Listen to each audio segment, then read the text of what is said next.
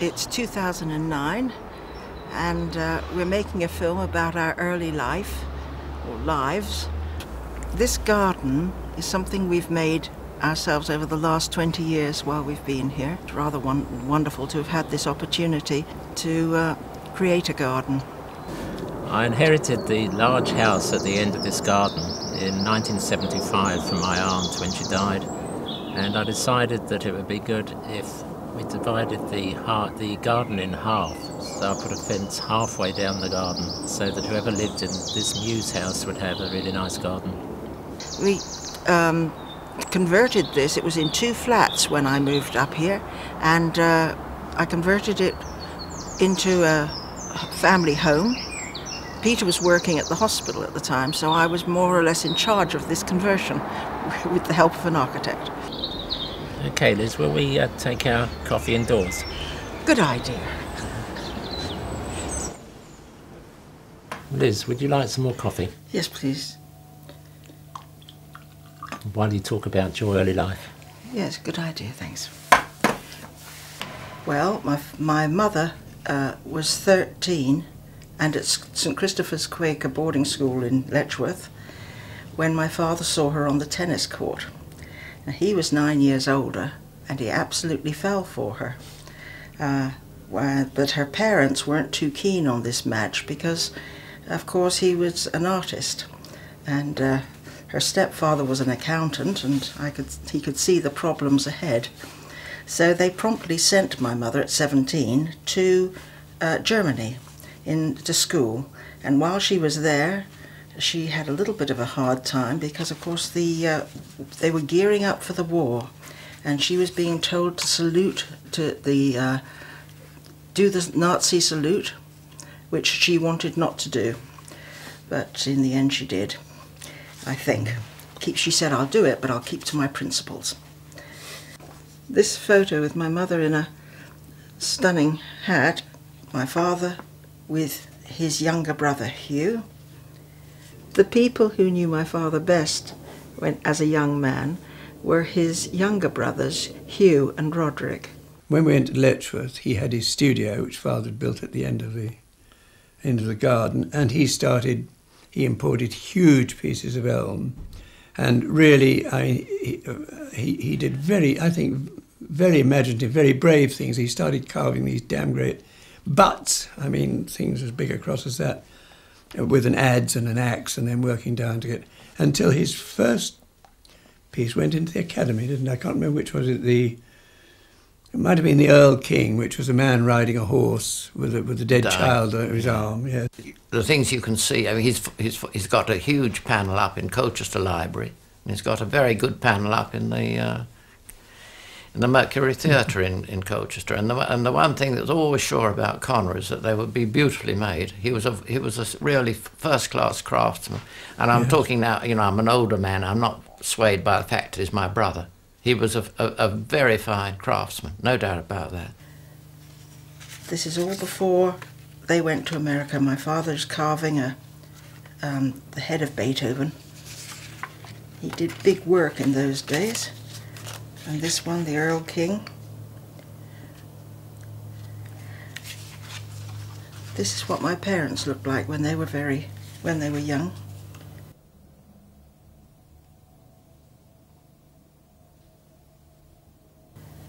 Rather glamorous photos taken of them, I think professionally. They must be professional.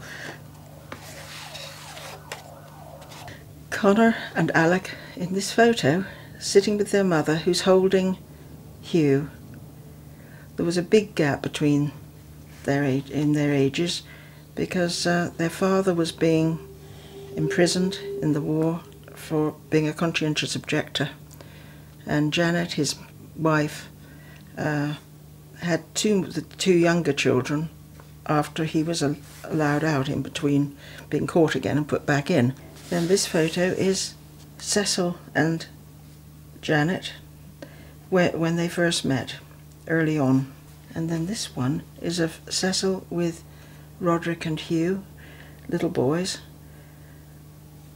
I imagine after his wife Janet had died unexpectedly early. On my mother's side, um, her mother Tinny, was married to Tom, and uh, Tom was called up. She had twins. My mother was Joan and her sister Gwen, unidentical twins. I think that Gwen was mostly brought up by Nani, the, her Tinny's mother. Here they are with Nani and her and two cousins. We have Tinny and Tom, who came back from war briefly, and the child squawking on his lap is my mother. And the other one is Gwen. They had as different personalities as you could ever find. Gwen was placid and sweet natured, and my mother was young and rebellious. Here they are in the twins in the pram. And in school days, there they are. Here's Tom in his uniform. He was killed when he was very young, and uh, that's his grave. Tinny met Frank about five years later, and uh, after Tom had died, and uh, they met on a tennis court, and they got married and had a son who is Reg. And Reg worked in the Friends Ambulance unit when he grew up. Here they are, my grandparents, Tinny, Frank, sitting with Cecil, my father's father, in the garden at Richardson Walk. My mother's uh, mother, Nani, uh, was married also to Tom. They ran a little nursery garden, vegetable garden. In this photo we have all these generations. On the right is Nani, Tinny, my auntie Gwen, my mother's sister, her daughter Margaret, and Margaret's little son Michael. And there's my grandparents when they, as they were when they were older, and I knew them better then because I, by that time, I was uh, living nearby. I was born on November the 13th, a Friday, uh, 1936.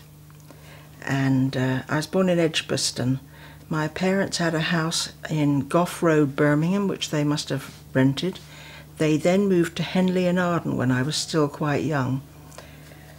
In fact, these baby photos of me, I'm, I think I'm six months old here,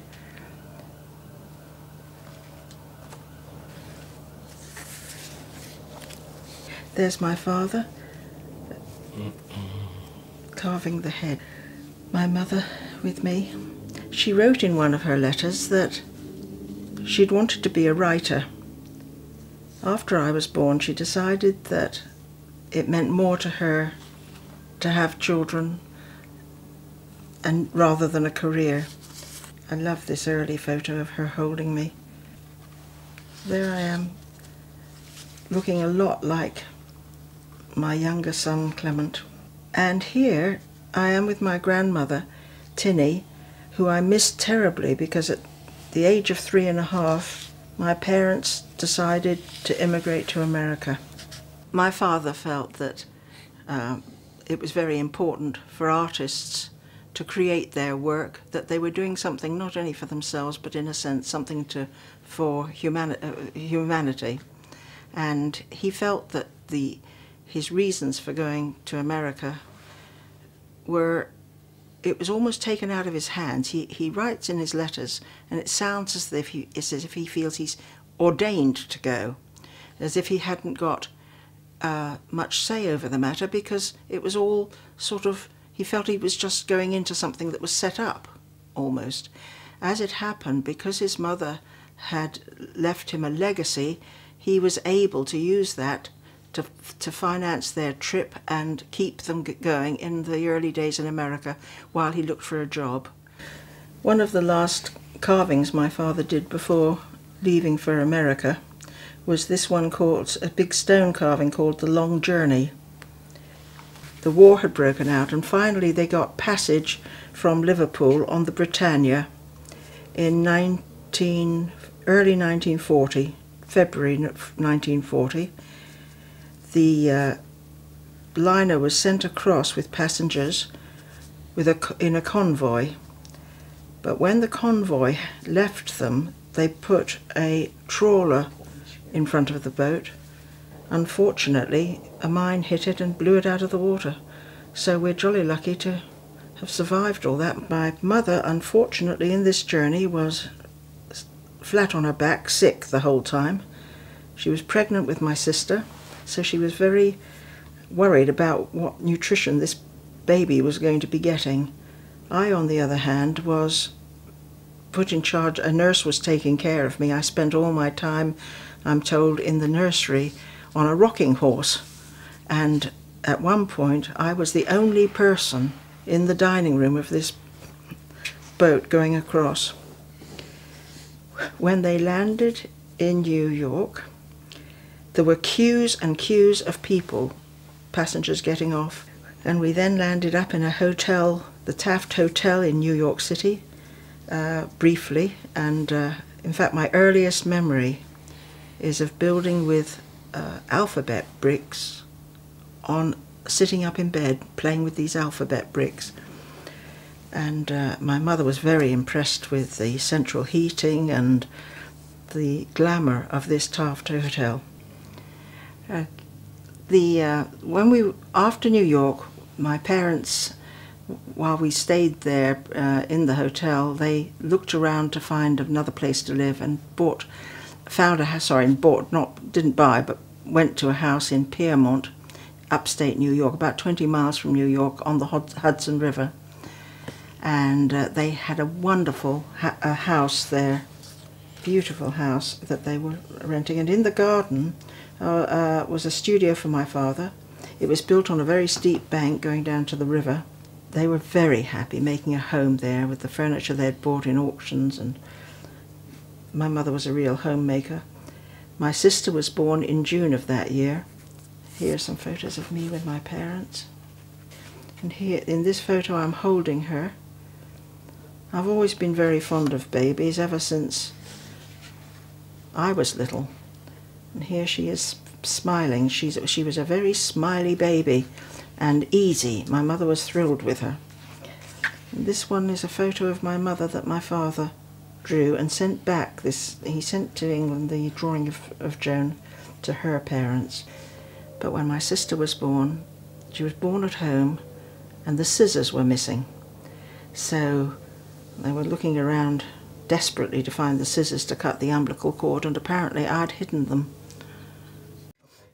In a letter to uh, Roderick, uh, my father wrote, partly because I've fallen in love with the country and the people, and partly because it would be very difficult to live and work here as an alien I have decided to take out my first papers for American citizenship straight away. This may surprise you, but it wouldn't if you were here. My parents moved from Piermont, uh, upstate New York, to Putney in Vermont, where my father had a job, uh, got a, his first job in a, a, teaching art in a school that was run on very progressive lines. Uh, and uh, my brother was born there in September 1941. And this house where he was born is called the Experiment in International Living. We rented a flat on the top floor. That's the front view and the back view. Here's my mother with my brother. So he was born about 15 months after my sister. I was a rather serious child, and my sister always laughing, smiling, looking happy.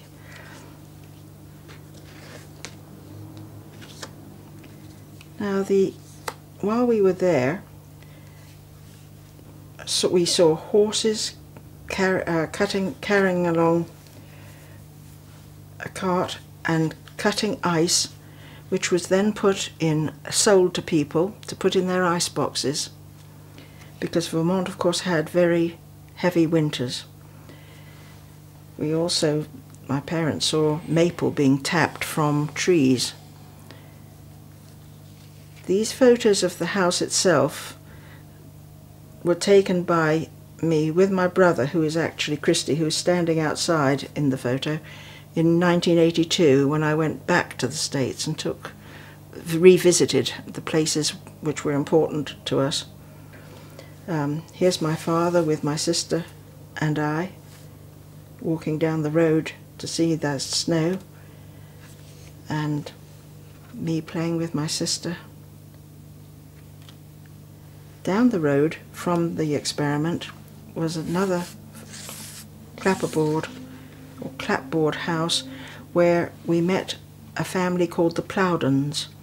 Uh, Stanley Plowden and Mary Plowden lived there, and they became firm friends of my parents and uh, were involved in our life quite a lot over the years. They had an apartment in New York, and we were friendly with their children, Joni and David. David later became a photographer and photographed all over America. Um, his passion was trains and steam trains. He was taking photos of things that were going to be lost forever. Um, my father taught me in, to swim, to do the dog paddle, holding onto a trunk that was floating in this pool that was near the Plowden's house. So that's my, my five-year-old self.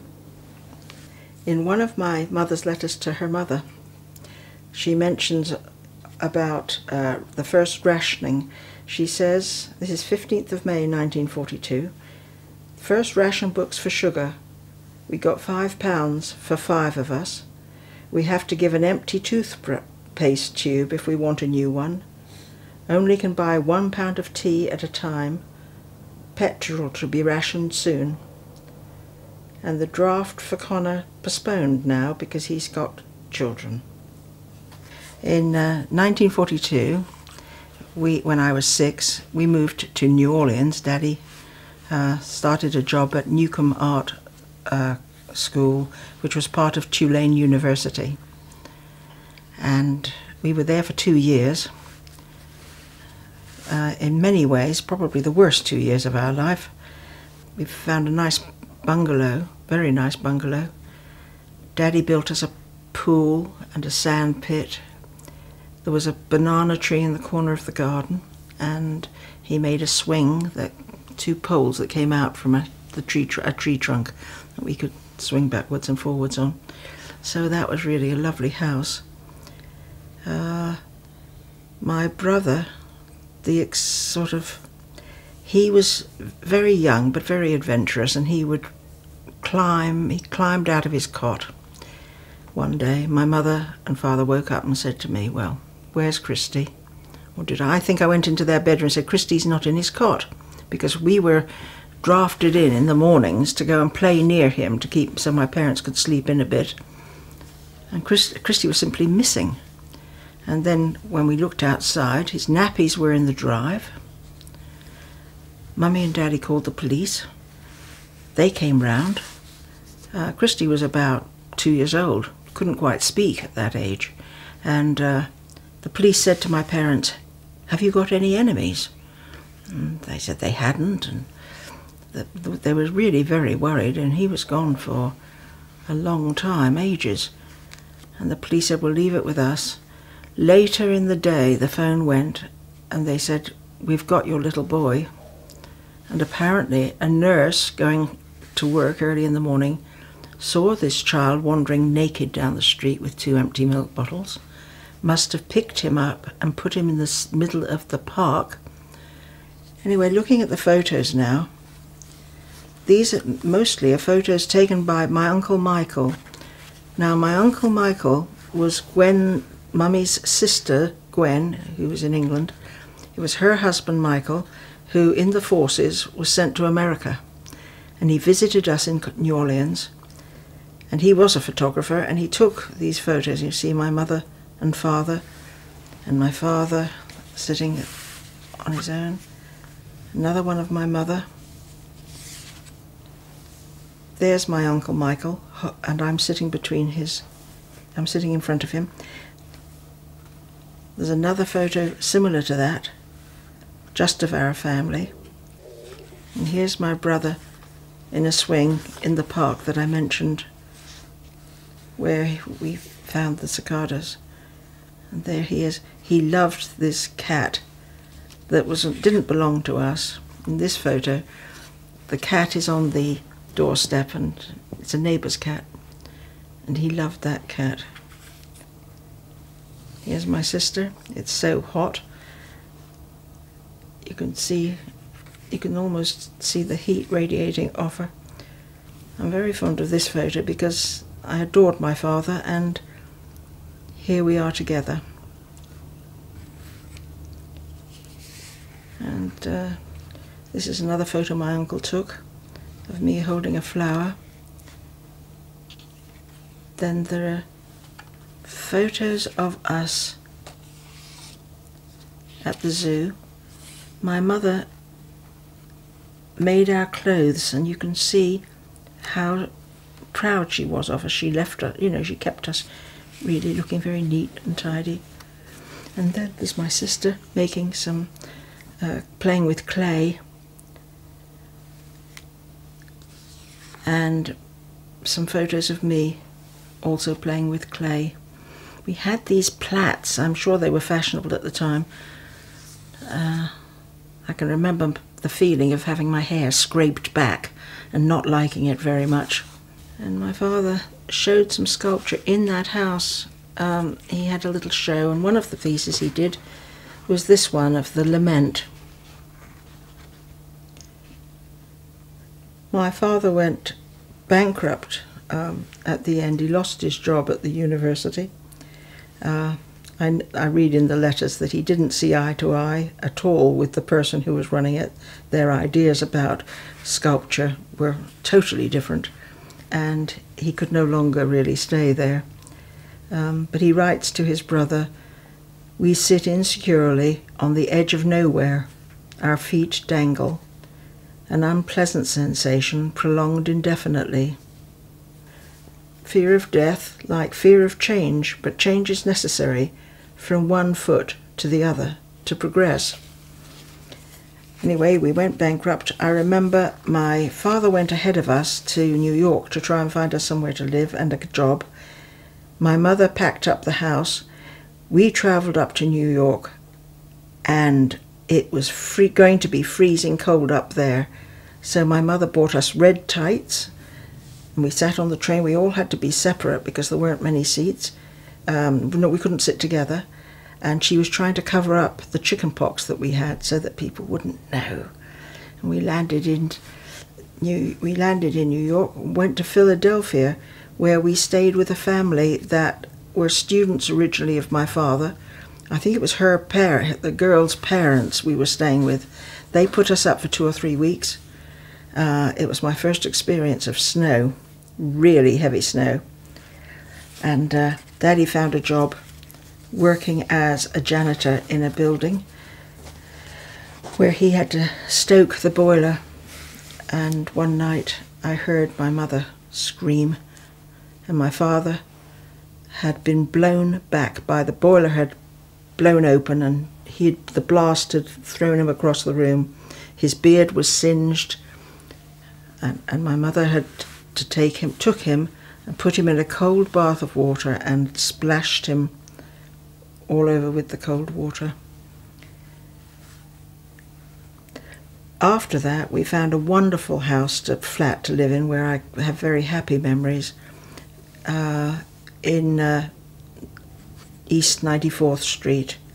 We had a flat at the top of a brownstone building, number 177.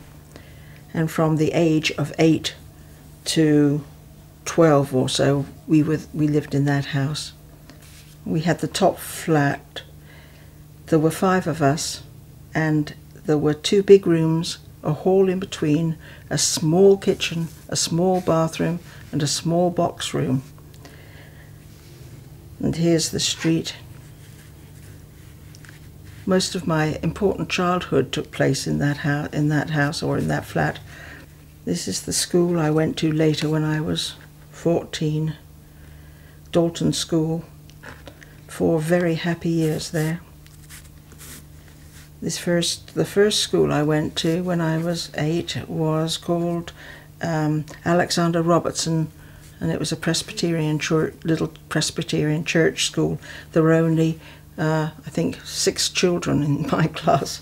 Very small. Later on, my mother taught there, and she also taught actually at, at Dalton later on too. We had these. Mummy had these photos taken of the th- of the three of us in one of the big shops, you know, Bloomingdale's or something like that. I seem to remember. So there I am, age eight. My sister's uh, seven. My brother must be five, six, six and five, perhaps, of those two. Eight I was, and then we met. That's right. My father worked at first in a framing shop because he, you know, to get us to get us some money after we'd been bankrupt, and there he met Philip uh, Verity, and Philip Verity had an English wife, Margaret. From this time on, that family uh, became like substitute relatives. Because of course, all our relatives were in England, and uh, it, it was we grew up knowing them well, sharing holidays. My mother's was Margaret's best friend, vice versa. And uh, in this photo, it's Sally, the younger child's fourth birthday. There's on the right is my brother, then my sister, then two a neighbour's two neighbours' children's here, and my and Julia and her her sister Sally, and I'm holding a baby. In this one, I'm entertaining the children. I used to do that a lot. I used to tell stories or play little shows, as we called them, with teddy bears. I don't know who the photographer was of this one. This is taking place in Margaret's flat at the same birthday party. Now we come to 1946, I think, or 47 was it? The Great Snow. We had such terrible snow in New York. I mean, we always had a bit of snow, but this was something else where the roads were blocked by snow covering the cars. There's one of them.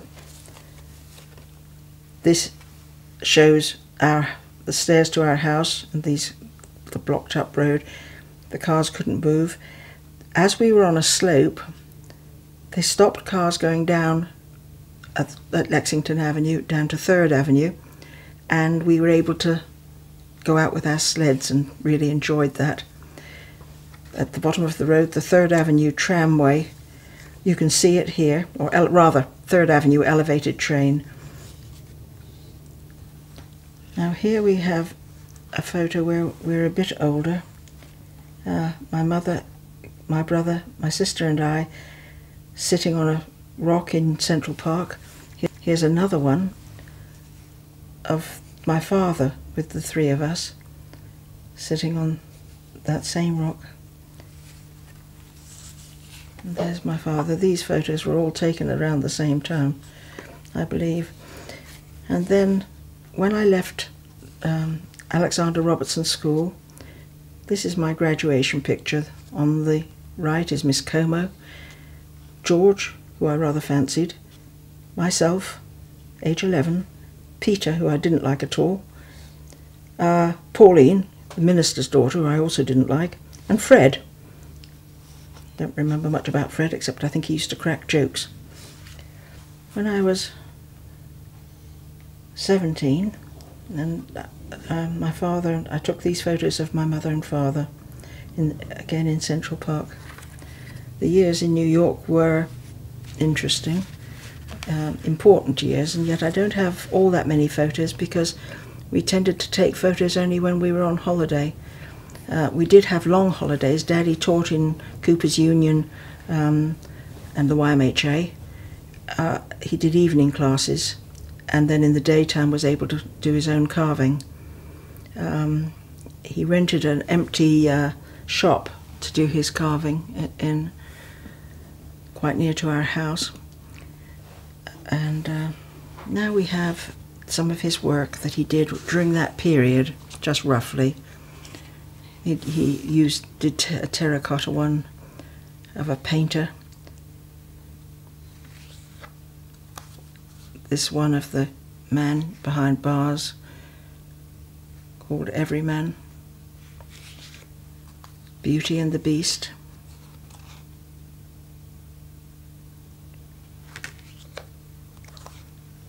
One of three figures that he did in soap carved in soapstone of musicians. And here are two other carvings that he did. Exodus, I think this one was called. Two views of the same little group. He did that between 1945 and then had another go at it in 1960.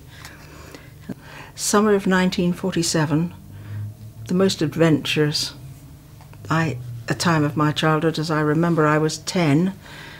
My mother um, was going back to England for the first time since the war.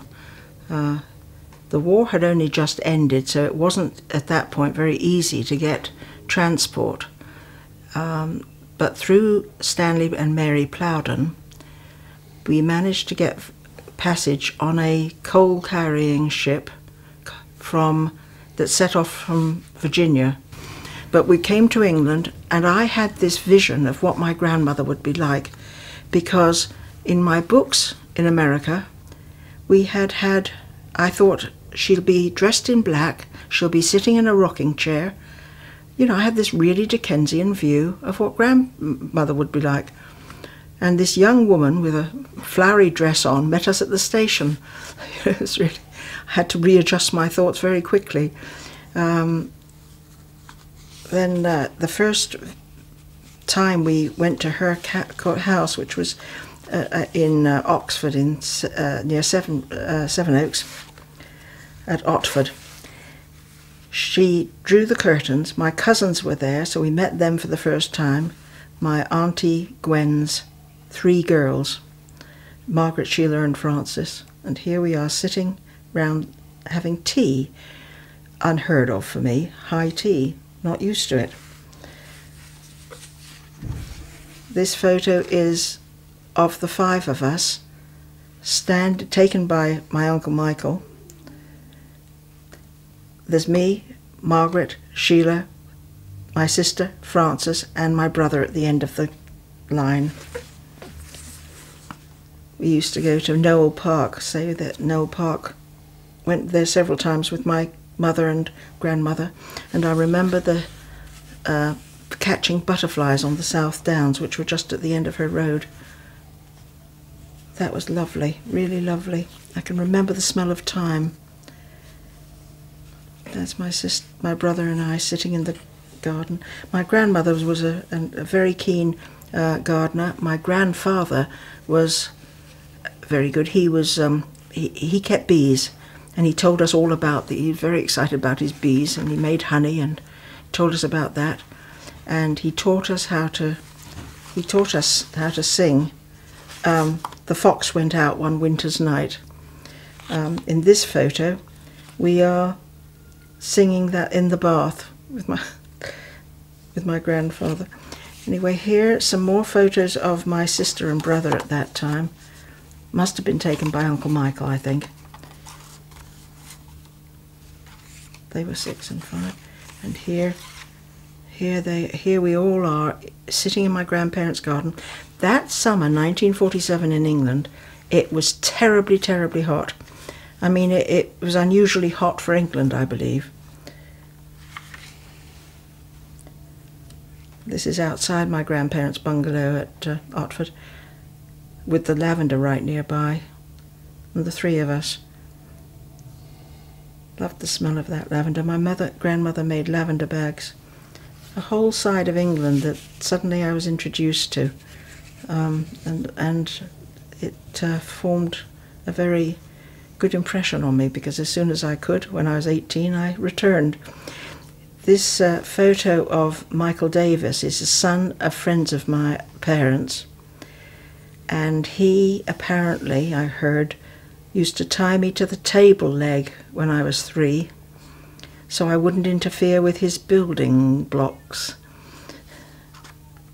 He was his parents um, were very good friends of my parents, and he later came and stayed with us in America when he was about 20. He went to college in America.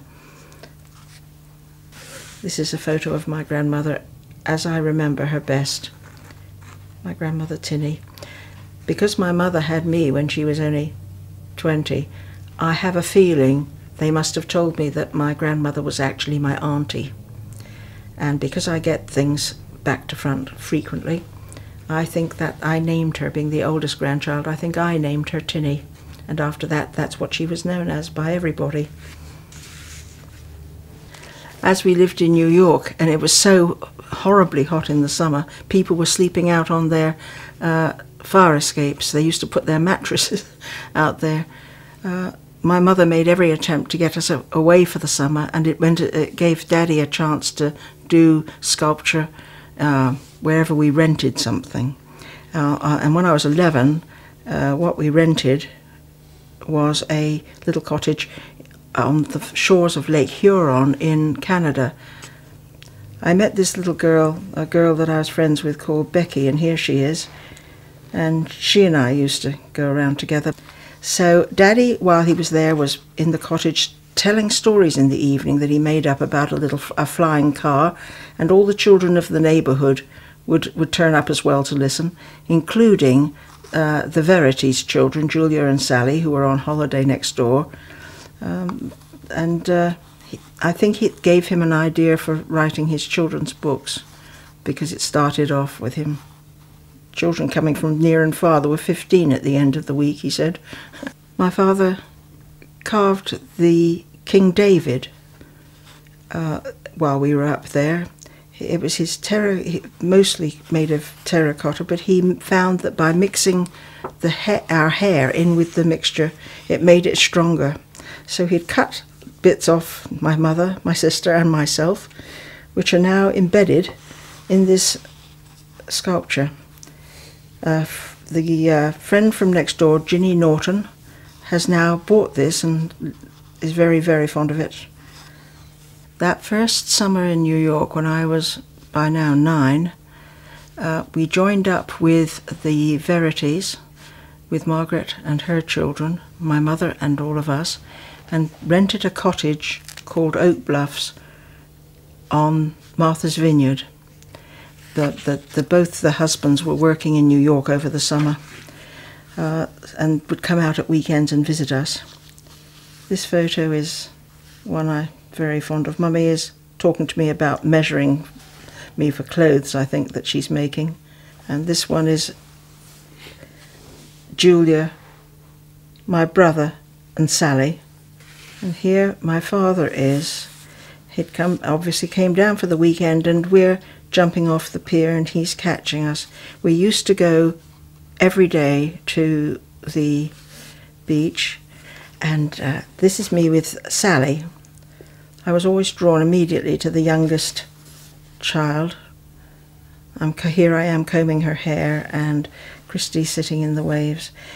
We had a bit of a to do there too because Sally was only two years old, and one day she just walked straight into the sea, straight in, and she, the mothers were talking. Daddy noticed, and he rushed after and picked her up and saved her. Now, she'd have drowned, certain as anything.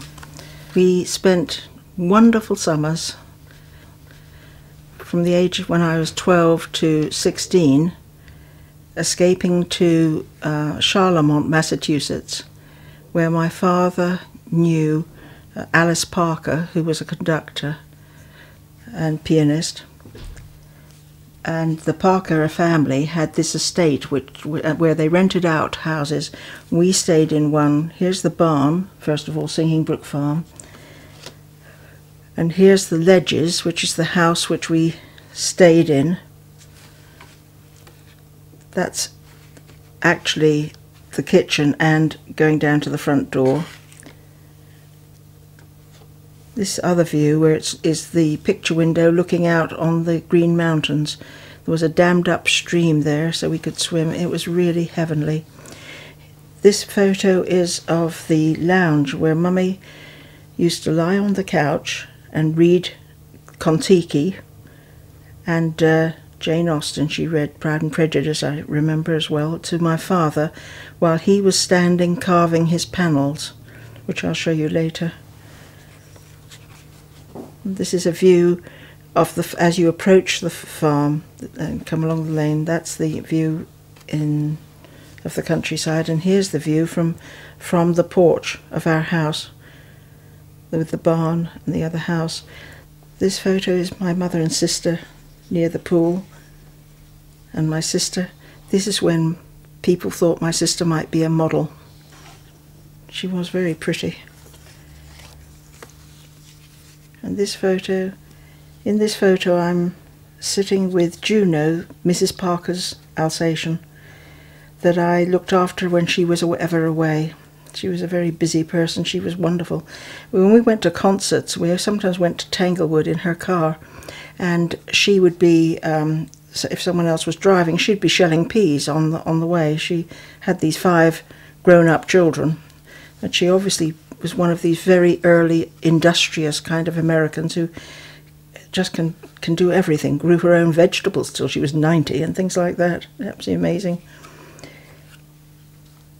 Now, in this photo, my father is sitting on the porch making a little sculpture. He's got his hat that he often wore out there. He thought it brought him good luck. There's a photo of my brother. The um, ledges that we rented also had a log cabin in the just few yards up the slope from the house, and my brother or any friends who came to stay would sleep up there. Here's a photo of the changing hut down near the pool.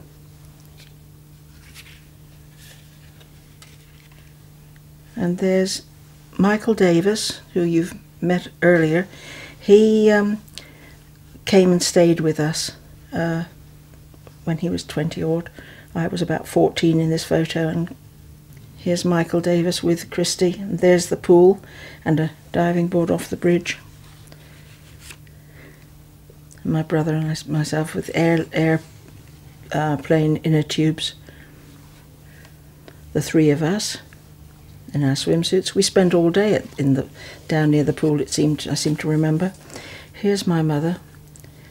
In this photo, she must be about thirty. She looks, you know, three growing up children, and she's still very young. No, she's a little bit older than thirty. She must be thirty-five. There's my father with pails and here he is again with some cows in the field. Here, in this photo, showing the view again from our porch. I'm 14 and had permed my hair for the first time.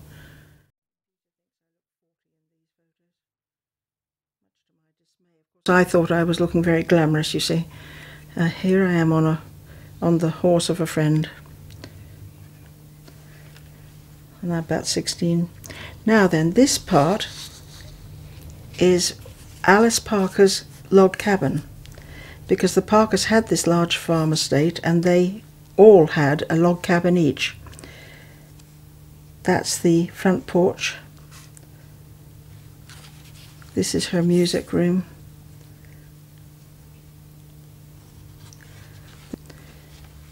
And I want to read a bit of um, Daddy's letter because it describes a wonderful episode that took place in Alice Parker's cottage log cabin. This was written in September 1950 and it's my father writing to Hugh. Since my last letter to you, a surprising and rather unforeseen event has taken place. Robert Shaw was up for a short visit to the Parkers, whose estate this is, to work on some arranging of songs with Alice Parker in preparation for a series of recordings he's making. And I asked him if he could sit, would like to sit for his portrait. I'd drop everything to do it, and he agreed.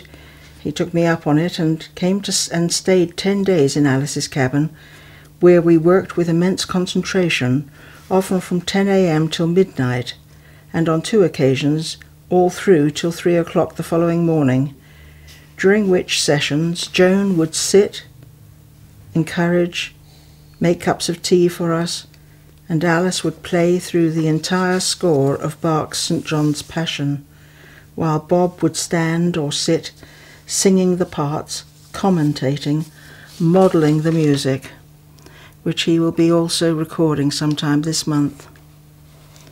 And I would be going crazy trying to catch that amazing, alive quality that took place in his face. Both Daddy and his brother Roderick were very interested in the story of Don Quixote, and my father carved this panel of Don Quixote while he was in Massachusetts in the summer. This was one of the ones he was carving while my mother read to him in the evenings, and I used to lie on the screened in porch and I could hear her voice. And this one, called Spring Queen and King Corn, uh, which a friend of mine owns, owns uh, he carved that in 1955 in the summer. And here's a, here's another one that he did in 1952 called, called Slumber, I think. Next door to us were their family called the Nortons, next door to us in New York at 177 East 94th Street. And uh, they very kindly invited all of us children to spend a month in the summer up in Canada, where they had a house at Port Hope. And in this photo, the three of us are boarding the little plane to Toronto. And here we are playing canasta, and we used to spend hours singing Sweet Violets. And here we are, the five of us Ginny, myself, my sister, my brother, and her younger brother Tommy, all sitting at the side of their pool. And here I found a baby I could feed. This is um, Ginny's aunt's baby. I was in seventh heaven. When I was 17 that September, my father got a job at the Norton Art Gallery uh, art school in uh, West Palm Beach. So my father and mother uh, joined up about a year later, and Daddy went ahead. When they went, moved down there, they were able to buy their first house and their first car. There's my sister with the fiddle concerto outside their house, holding their cat.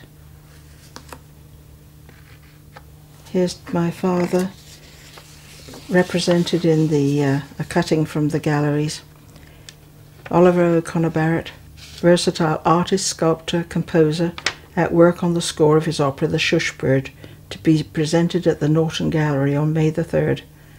In the background, his wood sculpture Abraham and part of a cartoon for his largest relief panel, Crucifixion, Crucifixion of Man. Here's my father outside their house in Florida, starting to carve on a very large trunk of a tree. He starts it with an axe. He refines it from a, with a mallet and chisel. And here he is with another piece that we've already seen called the Exodus. When I was 18 in New York, I met the first the person I fell in love with first, who was called Lou Miller. Here he is. And I worked that summer as a waitress in Maine in, at Kennebunkport at the old Fort Inn. There I am in my uniform. Unfortunately, we both had summer jobs, but not at the same hotel. Here's another photo of myself with him, and that one. This is sitting on the beach at the uh, in Maine. Here's another one in Maine of, of me with uh, sitting on a cliff. When I worked as a waitress, I managed to slip some fried egg all the way down somebody's neck. It was hard work. We had to peel peaches for them, would you believe? But we had a great deal of fun. I, I learnt to drive and uh, we went out on a prom. Uh, well, that's where we were driving. I went skinny dipping with the other waitresses, saw fireflies for the first time. And in, I liked Maine very much. Seems to me it's quite a lot like England in the countryside and the way it, just the way it was. I look forward to going back there one day. I had better sense than I realised because later we've kept in touch over the years, and Lou now teaches English at Harvard University. So there was a whole. This he's the one who represents the whole life, the American life I might have led. I worked to earn my fare to England, and that September sailed to England on Queen Elizabeth I. And England in those days was very, very dreary. It, everything seemed grey, no colour. There were whole in London. There were parts of buildings left standing. You'd see just the rooms outlined on the end of buildings. I went to Teachers Training College, which was such a shock after my lovely Dalton school, and trained to be a teacher for three years in the heart of Deptford. Well, when I stepped off the boat, arriving in England, my friend Michael Davis met me at the station, and uh, here I am in this photo uh, in front of Trafalgar Square early after my arrival all these relatives that I didn't know at this stage, really didn't know them. And um, here is Hugh, uh, my father's brother, with his wife, Deirdre, and their five children Roger, Naomi, uh, Bella, the youngest one called Pussy, and Pup. Here's one of Roderick and his family. And this one taken some time before, when my parents visited England, is with Alec and Doris, who we haven't seen. Uh, Alec and Doris with Lorna in Lorna's kitchen, Winifred, who's uh, Cecil's second wife, my father's stepmother. There's Joan and one of their Lorna's sons, I think. And here is my uncle Roderick, the painter, and I'm very fond of this portrait of him. There, it's now 2009, and I find myself with two grown up sons Ben, who's head of MORI, and Clement, who works in Berlin at the moment as an artist. Ben had Horace, who's now 13, and he's the light of my life. I think he'll go far. And Peter? I have two beautiful daughters, Nicola and Katie. And Katie is getting married in July, and we're really looking forward to the wedding.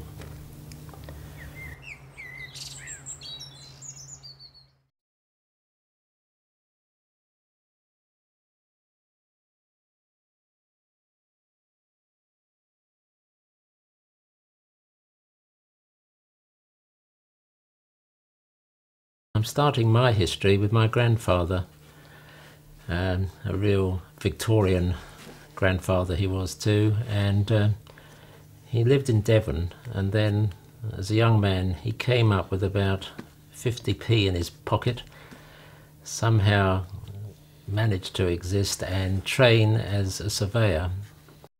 And then he gradually acquired property in Clapham, quite a number of properties. And um, I remember when I was a young boy, I used to come up once a year, and uh, this time my grandfather was in bed up at the big house from this mews here. And we'd have a talk, and then just before I left and was saying goodbye, he put his hand, and this was when he was in his 90s, put his hand under his pillow and pull out a five pound note. I always enjoyed those visits to my grandfather. My first photograph is of my father and his sister, my aunt Connie, when I think he, my father was about seven and she was five years old. When they lived in London and they lived in the large house at the end of this garden. Here are two photographs of my father in army uniform.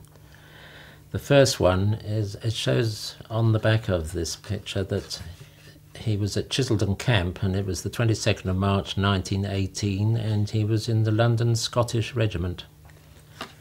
But then I come to another one I found and this one says uh, Redford, the 20th of May 1919 and appears to be an entirely different uniform.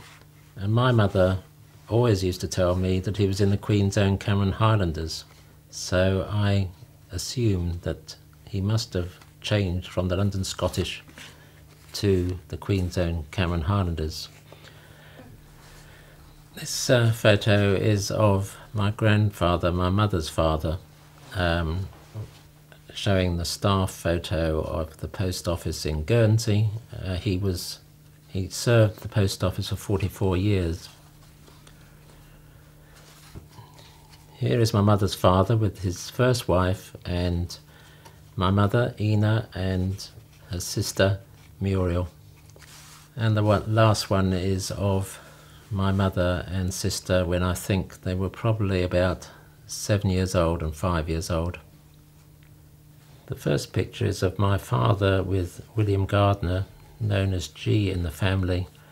He was an auditor who um, came to audit my father's books and they became great friends. Uh, my father was the accountant uh, in charge of uh, the office in Jersey for Lord Vestey. And they both had a common um, common background in the fact that my father and G were unable to divorce their wives because they refused to do so. Then we have G with my aunt Connie. Uh, they became very good friends.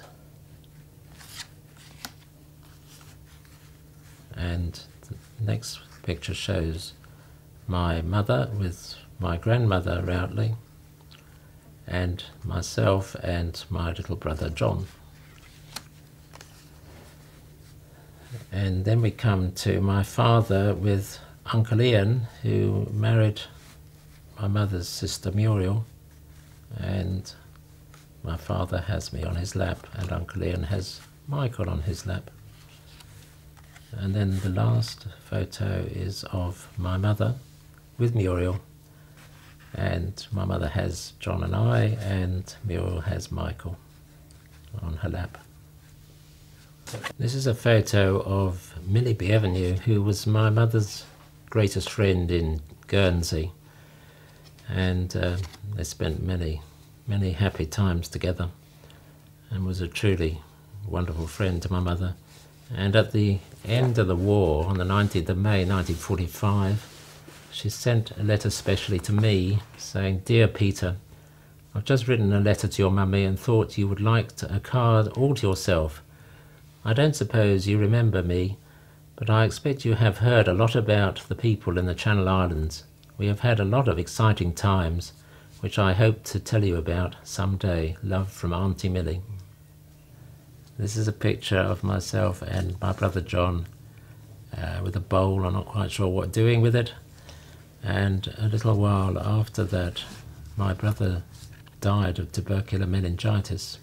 Uh, this was in Moretonhampstead. And the following is a, is a card showing the interior of the Moretonhampstead church. And he was buried in the at the back of the church there, his grave, which is rather sad. It's a very small little grave. And I have been to visit it several times since. This was the second death in the family. My father had died of TB in Jersey in um, May 1940, and shortly after that, my mother had to leave Jersey uh, as the Germans were going to occupy the island and left on one of the last ships before the Germans came. Uh, this next picture is of um, Jack Spragg and his wife, a farmer in Moretonhampstead, and his wife and me um, behind two horses. Uh, we had a, several years on this farm, and it was a very happy time away from all the bombs. And um, I remember just one occasion really where I had a lovely time tobogganing in the snow in, in Devon. And uh, in this next one, we have my cousin Michael and myself playing in the in the hayfield. Obviously, looking very happy. I've got a great grin on my face. The first is of my mother's father. He lived all the time, right through the occupation in Jersey, and um, he, these three photos are one, some of the last photos that were taken because they had their, their cameras confiscated in 1943 and these were taken just before they weren't able to use them. If they were found with a camera, they would have been taken to a concentration camp. No question about that. And uh, the lady with my mother's father here is his housekeeper, who after the after he lost his second wife, she became his housekeeper and was very good, very great companion to him during the rest of the war. Very hard time. Um, near the end of the war, there was virtually no food left at all, and he was he was only um, virtually eating potatoes. He he went down to to be very thin by the end of the war. My mother's father came to live with us for the last 12 years of his life in Bexhill. He was a very lively old boy, um, and even in his 80s, he was trotting up to London every week. He also loved the cinema. He loved going to the local repertory company, a very good repertory company. He also taught me chess, but when I started beating him, he didn't want to play me anymore. This, this is a photo of uh, the school, the prep school that I was at from 1947 to 1950. Outside the Houses of Parliament, we were taken into the House of Commons and the House of Lords, and our dear headmaster, the Reverend Woodruff, came with us. He was a headmaster who loved beating people, and we, he had a penalty system in the school where if you had three bad marks. You were up before him, and he had a lovely selection of canes, plimsolls, and after he'd beaten you, he'd apologise. Delightful man. February 1956, I was called up for my national service in the Royal Air Force, and this photograph is of my little group of uh, very um, novice airmen um, being fitted out for our uniforms at Cardington. We stayed there for one week and then we went on to West Kirby in Liverpool where we didn't know what hit us with these drill instructors terrifying us. And it was at West Kirby that I, after two weeks, went down with flu, tried to carry on because I didn't want to have to start my square bashing again. Um, we were um, in uh, the uh, we had to do a parade for an air vice marshal who inconveniently died. So we were having this parade in a raging snowstorm. We had uh, billets where there were coke fires, and uh, we were doing gym on concrete, cold concrete floors. And so I'd had a heavy cold at, Card- at um, Cardington, and I think that was the start of why I had this flu. Anyway, I tried to keep going with the flu, couldn't keep going, had to report sick. I was then in an RAF hospital with very, nice, attractive nurses in lovely uniforms, and I was there for six weeks, and I had severe bronchitis. Part of my lung collapsed, and then they decided that I was fit for civilian life but unfit for service life. So they were going to med- medically discharge me. I came back to Bexhill for about two weeks sick leave. Then I went back in May where they discharged me. So my long service was from February to May 1956. And this other picture was of when I was on sick leave. My cousin Michael, who he served in the Navy for uh, 12 years, more than 12 years, I think, and he came to visit me.